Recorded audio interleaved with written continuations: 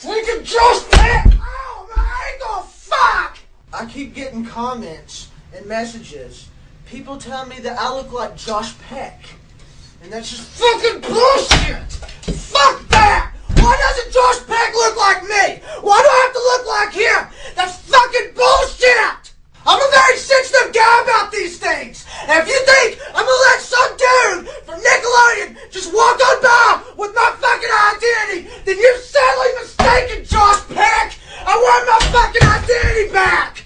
So, Mr. Peck, I'm gonna kindly ask you to give me my fucking identity back! Oh, fucking shit!